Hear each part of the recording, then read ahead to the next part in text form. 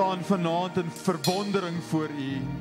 U is onmeetbaar, onverklaarbaar. U is soveel groter as wat ons kan besef en U is in staat om soveel meer te doen as wat ons verstaan. En vanaand wil ons onsself aan U kom toewy, Vader, en ons wil toelaat dat U in ons iets nuuts kom doen. Ons wil toelaat dat U deur ons kom waai, dat U Gees ons kom vernuwe en dat daar nuwe lewe in ons opstaan. Ons wil vanaand net fokus op U. Ons honger en ons dors is net na U vanaand en ons vra vir U nederig, Vader, kom en kom ontmoet ontmoet met ons. Laat die Gees vanaand deur ons waai en daardie smeulende kole weer aanwakker dat daar weer 'n vuur in ons sal brand, 'n passie vir u woord, vir u saak en vir u nabyheid. Want u is wonderbaar en ons eer u daarvoor in Jesus Christus naam. Amen. Baie dankie, u kan die sitplekke neem. Baie dankie aan die musikante. Dit was wonderlik geweest. As ek my sin gekry het, het ek gekom net vir 'n worship diens vanaand. Amen. Dis lekker om vanaand weer saam met u te wees en vir die leierskap vir Pastor Tertius en vir Prof en hulle afwesigheid en vir die leierskap. Baie baie dankie vir die voorreg om hier te kan kom bedien. Ek het Woensdag aand dit reeds gesê dit dit voel soos om by my pa se huis te wees. Ek's gemaklik om in te stap, die yskas oop te maak en dan te sien daar soos niks in nie. Wanneer wag, dis my huis. Nee, ek spot sommer met u. Loof die naam van die Here. Dit is lekker om hier te wees vanaand. O, as ons eerlik is met onsself dan uh, almal van ons so van tyd tot tyd bederf ons onsself so bietjie en ons doen ietsie spesiaal vir onsself. Ons dink so bietjie terug aan ons kinderdae. Ons dink aan hoe lekker dit was en hoe wonderlik dit was en ek wil hê jy moet sommer so nou terwyl ek praat so 'n bietjie terugdink aan u eie kinderdae. As ek terugdink aan ons kinderdae dan dink ek aan daai tye wat ons in die straat buitekant gespeel het. Sommer in die straat voor die huise en al die maatjies het daar lekker saam gespeel en dit was lekker. Ons het sommer tot donker gespeel en as dit so sterk skemer is, Dan kom al die ouers uit op op die stoep of voor in die erf en hulle kom roep die kinders om huis toe te kom om te kom eet. Dit was lekker tye. Dit was wonderlike tye. Natuurlik die ander ding as ek terugdink aan my kinderdae het ons altyd gaan fietsry. So 'n paar blokke van ons huis af was daar 'n stadsaal. Nou as kind was daai stadsaal was vir my presies soos wat die hemel moet wees. Alles wat 'n kind wil hê was daar gewees. Daai stad sal dit was hemel gewees. Daarso was swembaddens en daar was 'n speelpark en die beste van alles. Daar was 'n BMX baan gewees. Jogg, dit was darem lekker dan gaan ons na die BMX baan toe en dan ry ons daarso die heel dag ry ons fiets en ons speel en die jong mense sal hierdie nie eers verstaan nie, maar dan as ons dors is, dan storm ons sommer na die naaste kraan of die naaste tuinslang toe en ons drink sommer water uit die tuinslang uit. En dan val ons sommer net daar op die gras neer en ons staar in die lig in. En dan gebeur daardie ding wat alle kinders doen.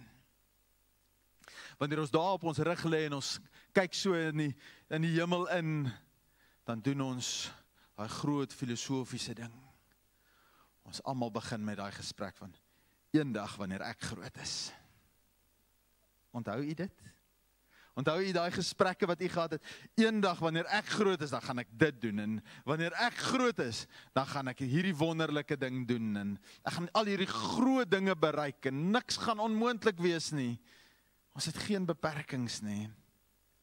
Toe ek 'n klein seentjie was nou, ek is baie lief vir chocolate mousse. Nou dit het ek by my pa geërf. My pa is net so lief vir chocolate mousse. En toe ek ou klein seentjie was, het ek vir my pa gesê, "Pappa, moenie worry nie, wanneer ek groot is, gaan ek vir jou chocolate mousse fabriek koop."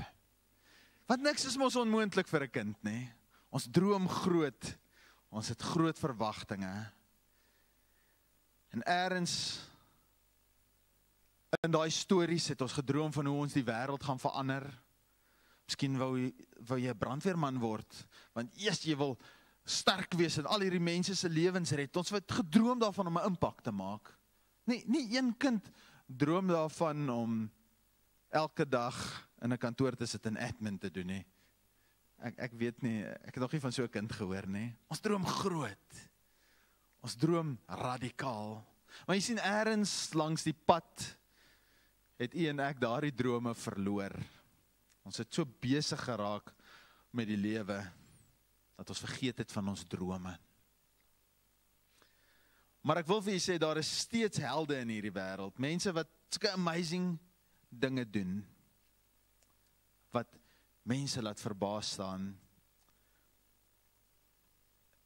U sal onthou op 11 September 2001 het vier vliegtye vol terroriste verskillende plekke in Amerika aangeval, die Twin Towers in New York, twee van hulle neergestort. Een van hulle het in 'n veld net daar buitekant Stony Creek Township in Pennsylvania geval en een vliegtyg het in die weste kant van die Pentagon neergestort.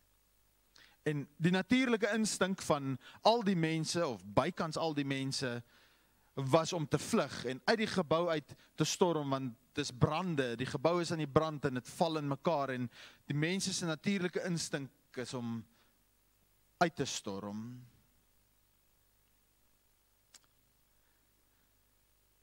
Maar daar was ander mense, mense wat die teenoorgestelde opgetree het. Mense wat die brandende gebou binne gestorm het om mense te gaan help. Een van daardie ouens was 'n 'n man met die naam luitenant-kolonel Ted Anderson. Nou Ted Anderson is 'n wedergebore kind van die Here. En hulle vertel dat op daardie dag het hy opgetree soos 'n besetene.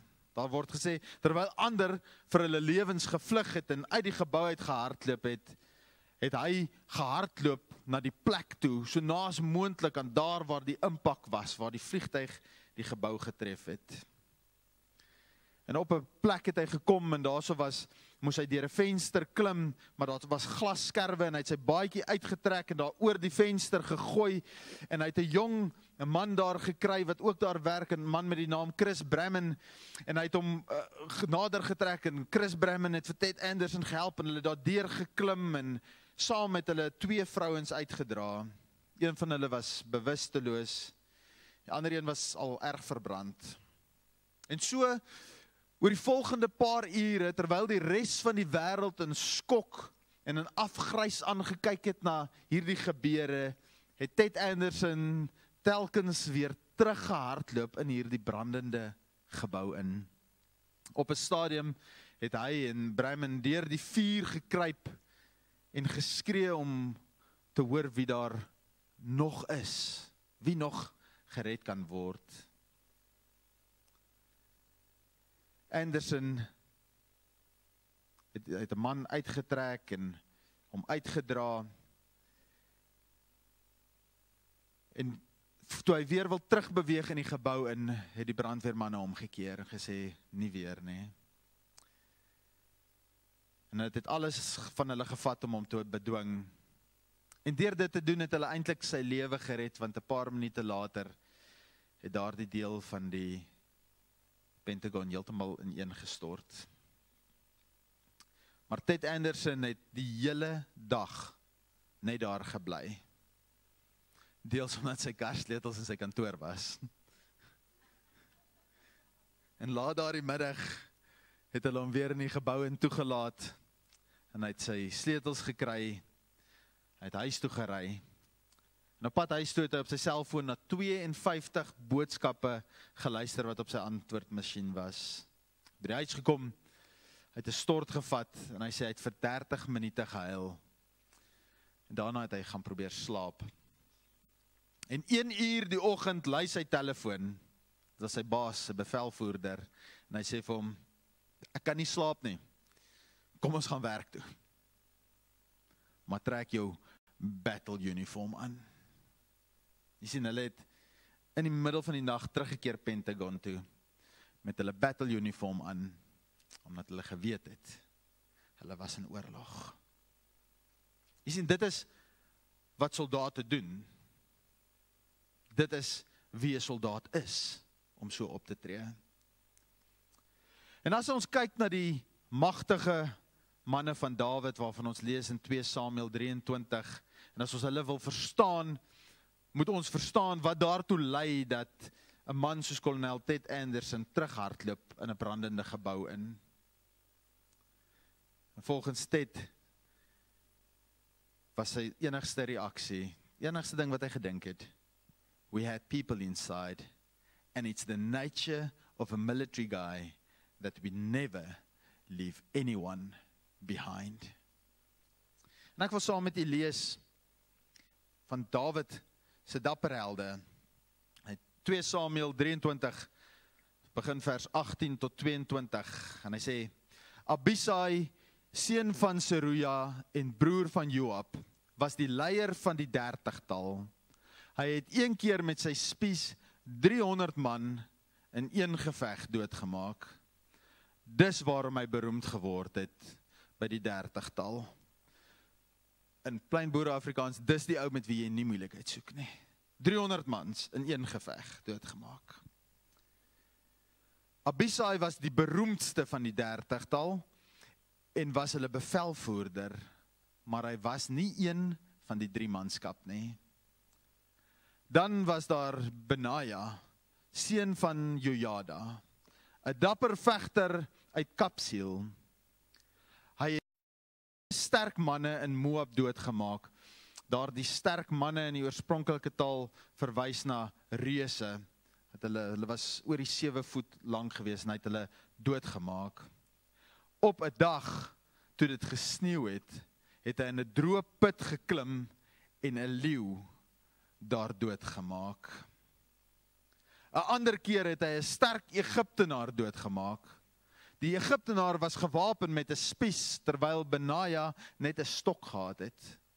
Maar Benaja het die spies uit die man se hand geruk en hom met sy eie spies doodgemaak. Dit is sommige van die dade wat Benaja seun van Jojada gedoen het. Hy was beroemd onder die 30tal. As ons hierdie stories lees, hierdie hierdie verhale lees van hierdie dapper manne, dan staan ek in verwondering oor wat dryf mense om sulke goed te doen. En een man slaan 300 ouens dood in een geveg. Dit wil gedoen word. Die ander een, ek weet nie, hierdie ou is 'n bietjie wild.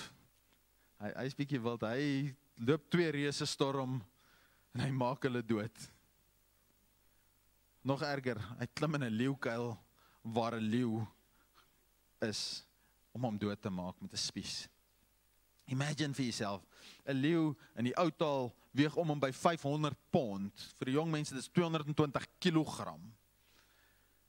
En hy klim in die put om die leeu te gaan doodmaak. Jy sien, die leeu brul, maar hy hardloop nie weg nie, hy hardloop na die gebrul van die leeu toe.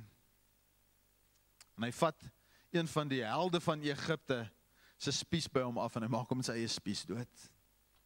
Dis 'n man wat nie bang is nie.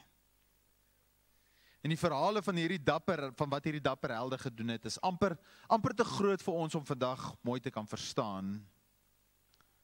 Maar wat my nog meer aangryp oor hierdie hierdie hele storie van hierdie manne wat ons gelees het, is die feit dat hulle nie die lewe begin het as dapper helde nie. Nie een van hulle het begin as 'n dapper held nie.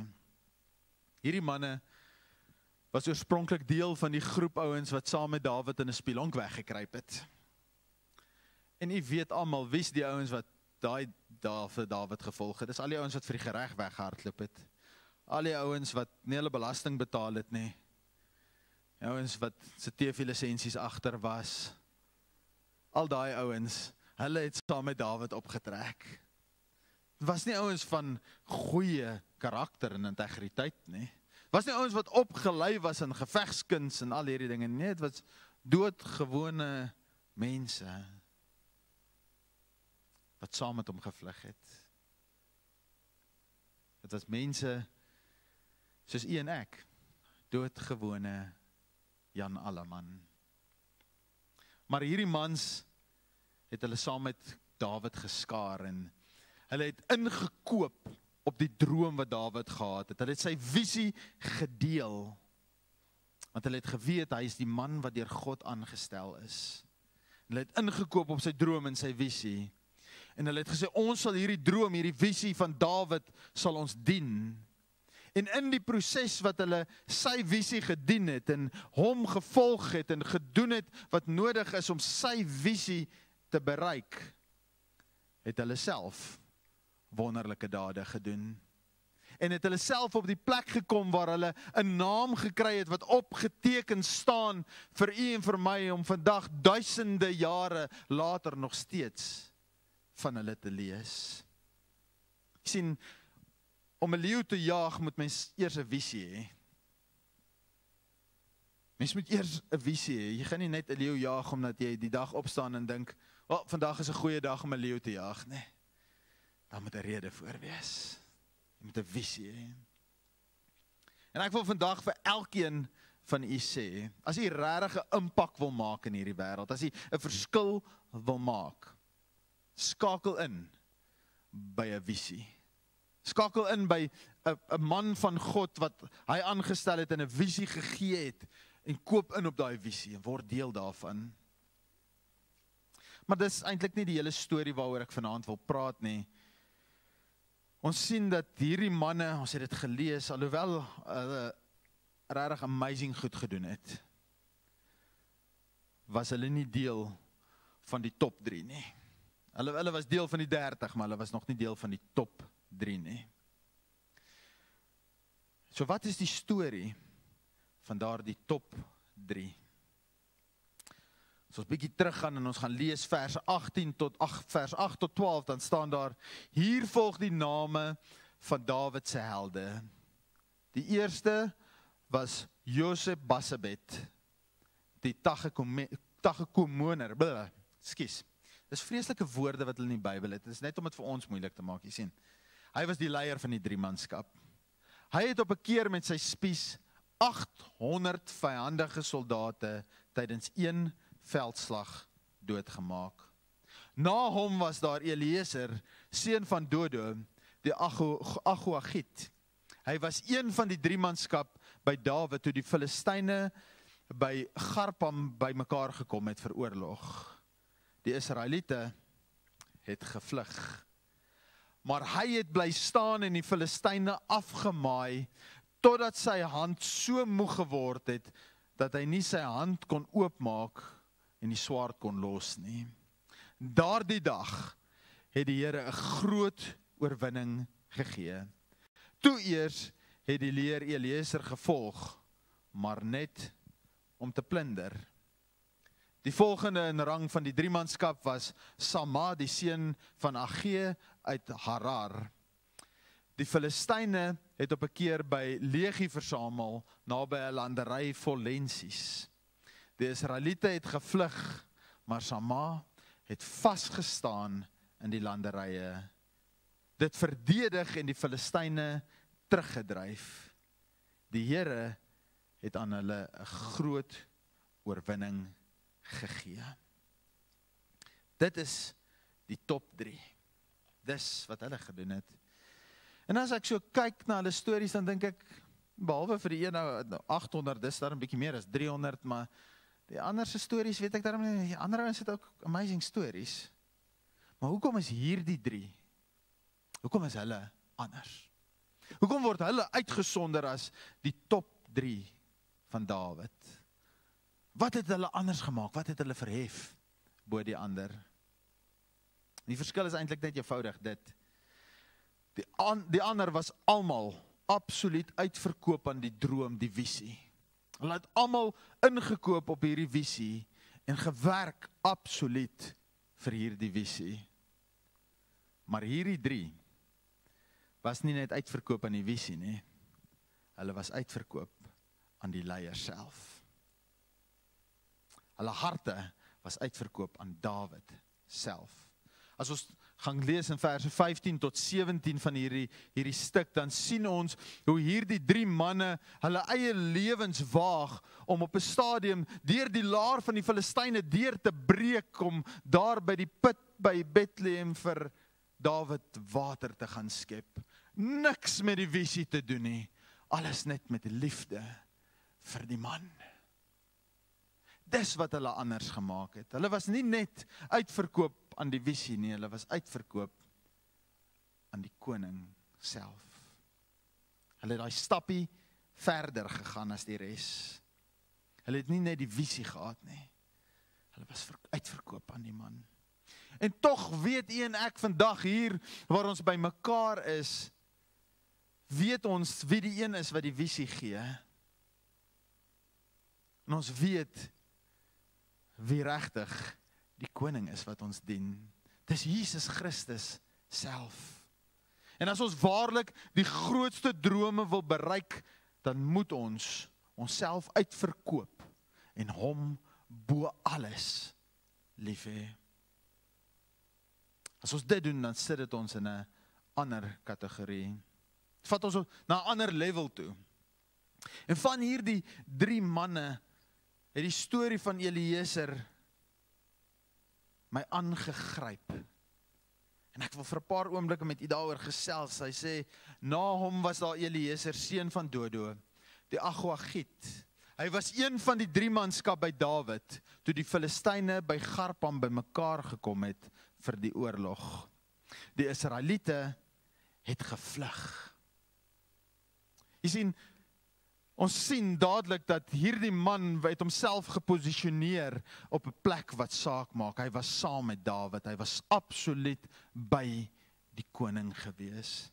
En as u en ek ons daaglikse lewe die die die vyand wil in die oë kyk, dan moet ons seker maak dat ons saam met die koning stap dat ons net by hom staan en saam met hom stap. Hy kan nie jy kan nie 'n ander oorlog gaan veg op jou eie nie. Dis die koning se oorlog. En dan kom ons hier in spreek hy woorde hierso wat wat 'n mens se hart wil skeer. Hy sê die Israeliete het gevlug. Die volk van die Here, die uitverkorenes van God aan wie hy daai land reeds gegee het hardloop weg.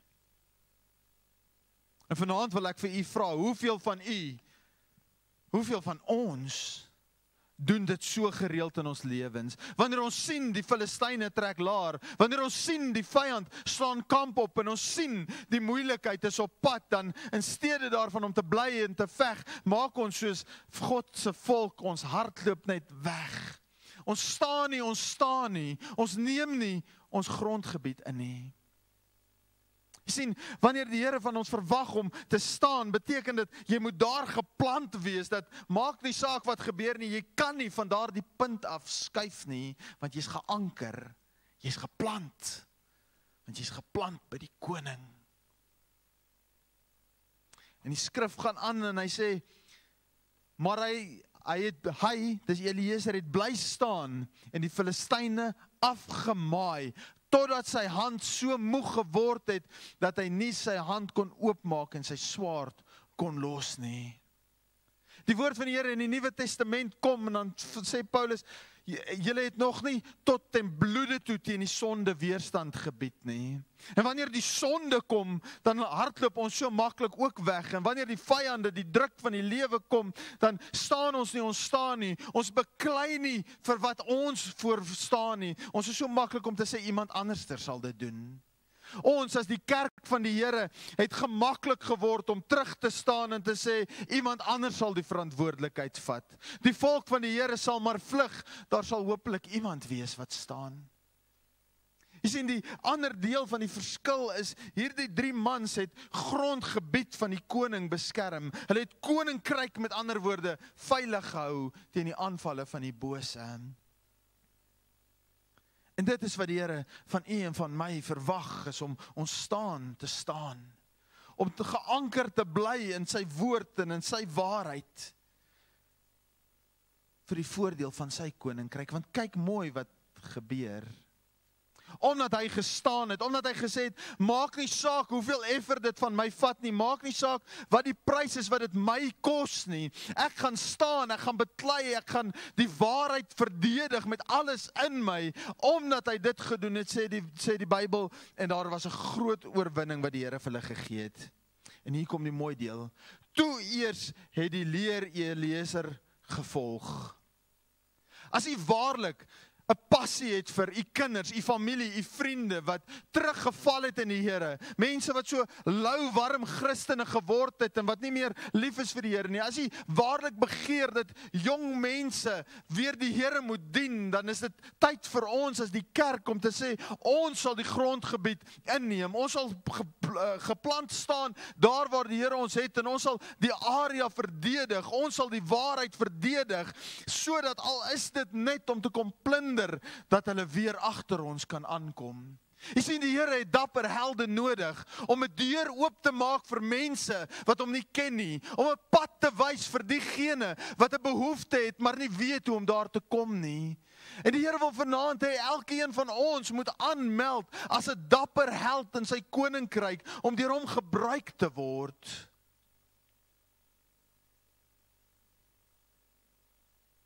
Die Here het nodig dat u en ek sê Here hier is ek gebruik my.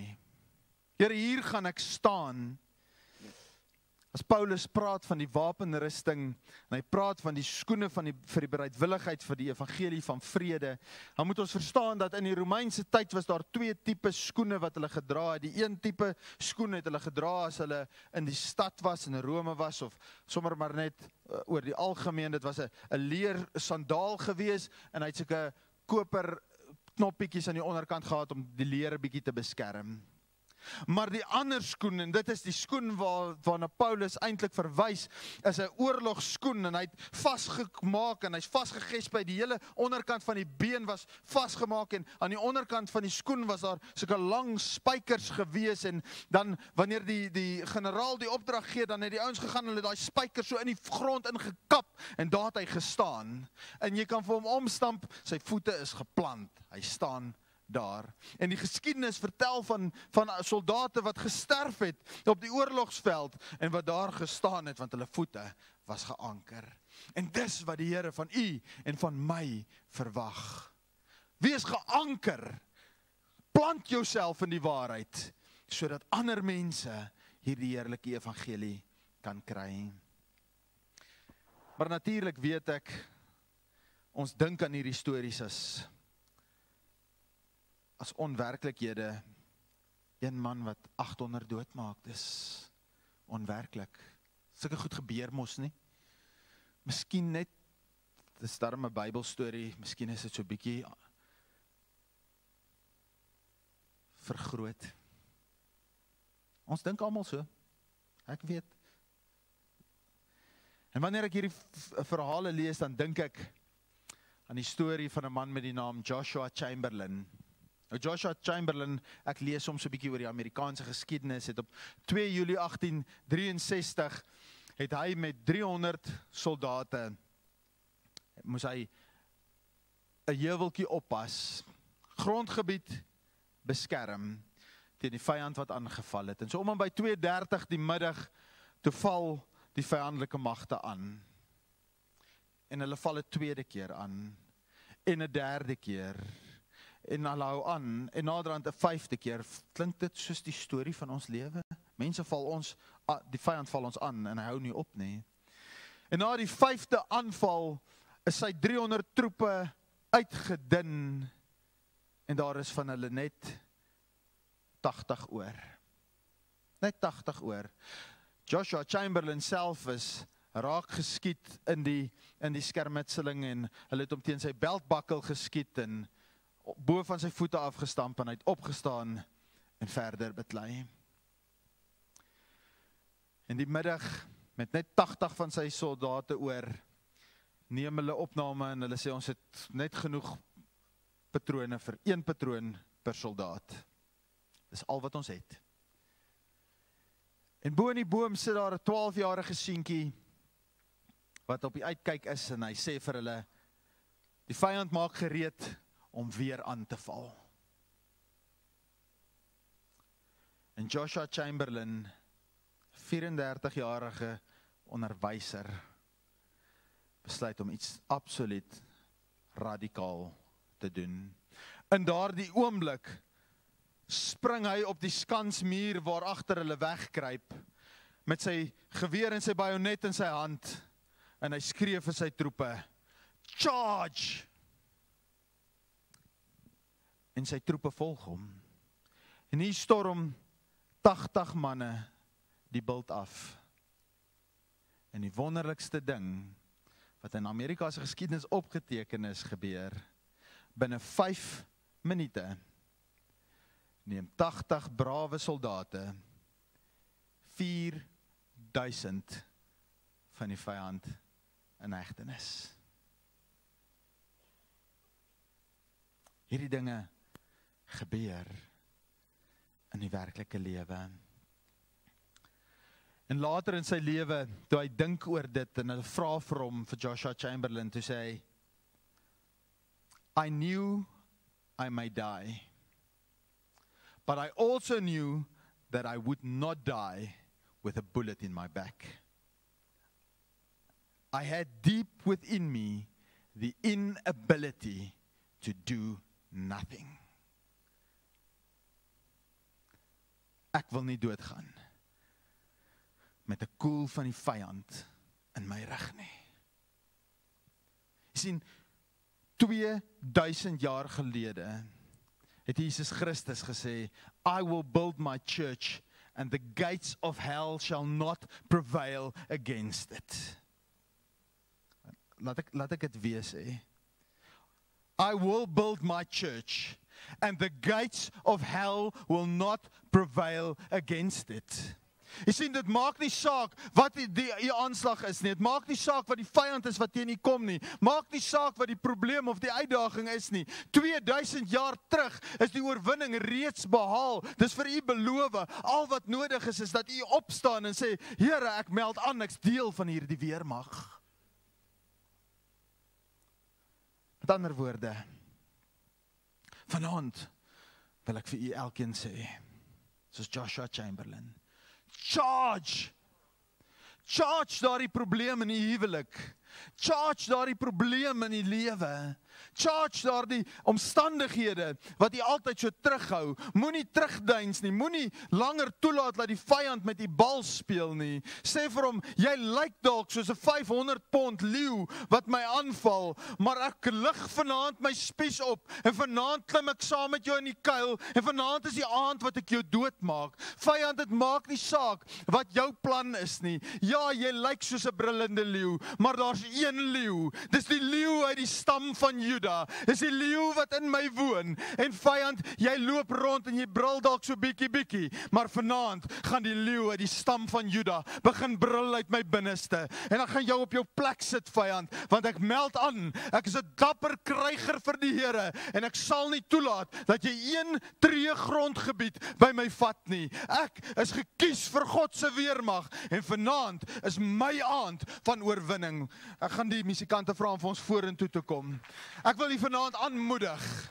Ek wil u vanaand aanmoedig. Hou op weghardloop van u probleme af. Hou op weghardloop van dinge wat u bang maak. Hou op opgee op die drome in die lewe. Jaag dit na. Streef daarna. Veg daarvoor want dit is goed wat die Here in u geplaas het. U is meer as 'n oorwinnaar deur Jesus Christus wat u die krag gee. U hoef nie bekommerd te wees nie. U hoef nie te vrees nie want die Here is aan u kant. Prys sy wonderlike naam. Kom ons sluit die oë.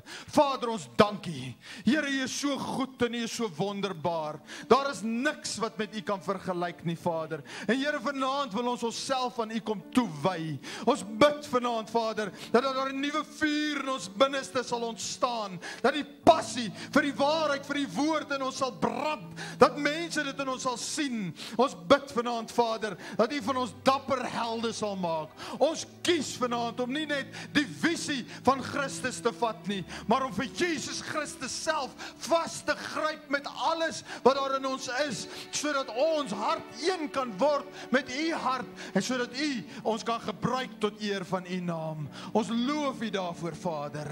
Ons prys u daarvoor in Jesus naam. Met elke oog gesluit. Elke oog gesluit.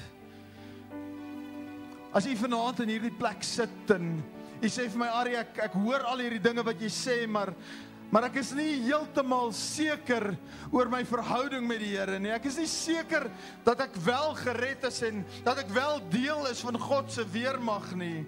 Ek het onsekerheid en binne in my is daar tog 'n bietjie vrees vir die ewigheid. As jy onseker is daaroor vanaand, net daar waar jy sit, elke oog gesluit, net vir 'n oomblik lig net jou hand op. Net jou hand op. Dankie Here. Dankie, dankie. Ek sien u hande. U kan dit maar weer laat sak. Prys die naam van die Here. En ek gaan saam met u bid. Vader, ons dankie vir elke hand wat in hierdie gebou opgegaan het vanaand. Ons dankie Vader dat U vanaand kom en vir elke mens kom kom eh, die versekering gee. As jy my aanroep, as jy my naam aanroep en in my seun Jesus Christus glo, dan sal jy gered word. Ek bid vanaand Vader dat U hierdie mense sal uitruk uit die kake van die dood, dat U hulle sal plaas in die koninkryk van lewe en van oorwinning en dat U hulle sal aanwend, Vader. Ek bid, Vader, vir saligheid, sekerheid vir elke persoon in hierdie plek. Dat ons sal weet, dat ons weet dit ons weet. Ons dien 'n God van wonders en hy het in ons 'n nuwe werk gedoen. Ons is 'n nuwe skepsel deur Jesus Christus. Ek wil u ook vanaand vra daar waar u sit. As u vanaand in u lewe eers 'n 500 pond leeu het wat op u afstorm. As daar 'n uitdaging voor u staan in hierdie week wat voorlê en u weet nie hoe om daarmee te deel nie. As u die gebrul van die vyand hoor en u soek net iemand om saam met u te bid vanaand, gaan ek vir u vra om nou na vorentoe te kom. Om so gou moontlik vorentoe te kom en ons gaan saam met u bid. Maak nie saak wat die uitdaging is nie. Maak nie saak wat daai 500 pond leeu is wat op die afstorm nie. Daar is niks wat vir ons God onmoontlik is nie. Ons kan vanaand verklaar met my God loop ek 'n bende storm. Met my God spring ek oor 'n muur. Al val daar 1000 aan my linkerkant en 10000 aan my sy en na my toe sal hulle nie aankom nie. Dis die God wat ons dien. Die God van oorwinning, nie van 'n klein oorwinning nie, die God van groot oorwinnings. Dan gaan die musikante vra om vir ons bietjie musiek te maak en dan gaan ons saam bid.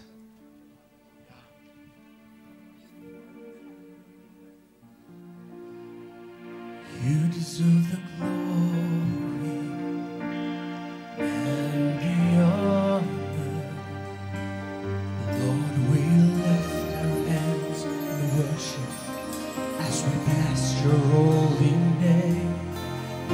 You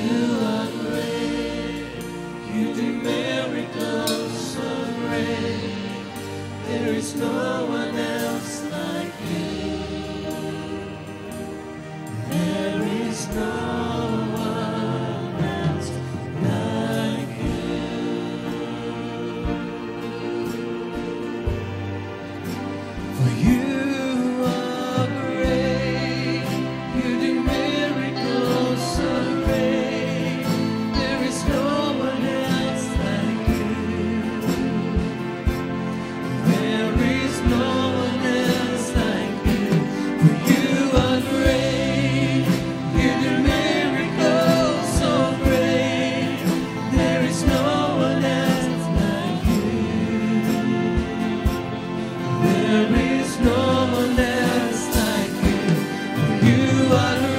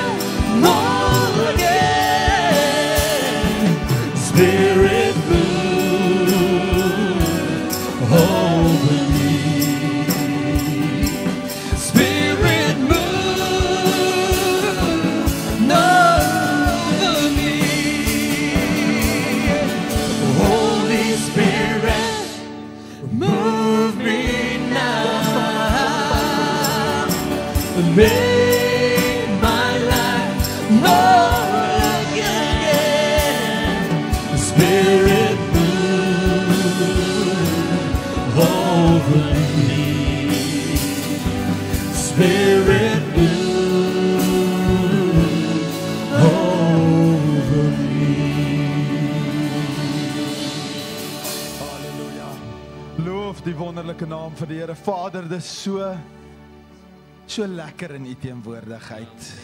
Daar's niks in hierdie wêreld wat kan vergelyk met tyd saam met u nie. Die vreugdes en die genietinge van hierdie wêreld is maar vaal en kan vir ons niks bied nie. Maar Here, ons dankie dat U met ons is. Ons dankie dat U lief is vir ons en ons dankie Here dat van vanaand af ons hart een is met U hart. Dat ons hart klop soos U hart klop. Dat dit wat vir U belangrik is vir ons belangrik is. En dat ons instrumente van verandering in U hand kan wees. Ons eer U daarvoor en ons dankie daarvoor Vader in Jesus naam. Amen.